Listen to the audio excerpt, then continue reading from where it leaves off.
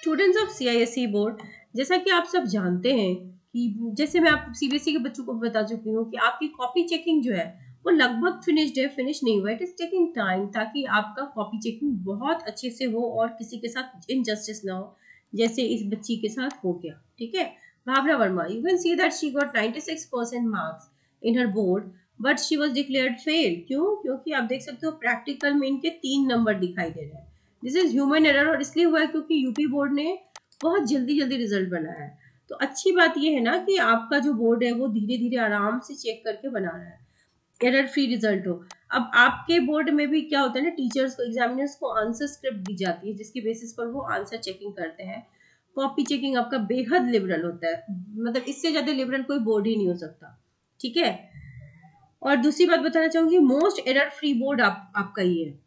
Top five आपके होते हैं अटेम्प्ट के नंबर मिलते हैं स्टेप मार्किंग होती है मॉडरेशन पॉलिसी भी है it is decided by your council correct CISC जो है पैरेलल चलता है सीबीएसई के तो सीबीएसई से नंबर देने में कहीं पीछे नहीं होता।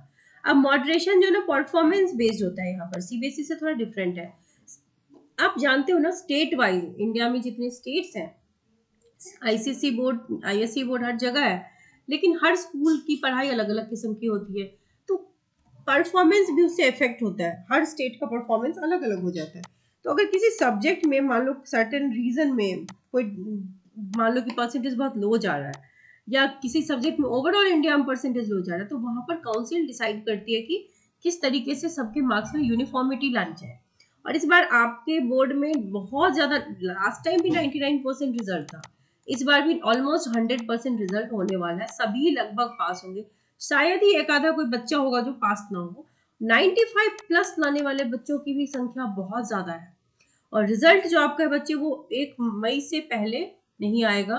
फ़र्स्ट वीक ऑफ़ मे कह लूँ तो फ़र्स्ट वीक ऑफ़ मे तक आपका रिज़ल्ट क्योंकि it is still going on it will take some time so this is the current update regarding the result and copy checking of CISC board. Wish you all the very best if you like the video, आप like, share subscribe कर दीजिए।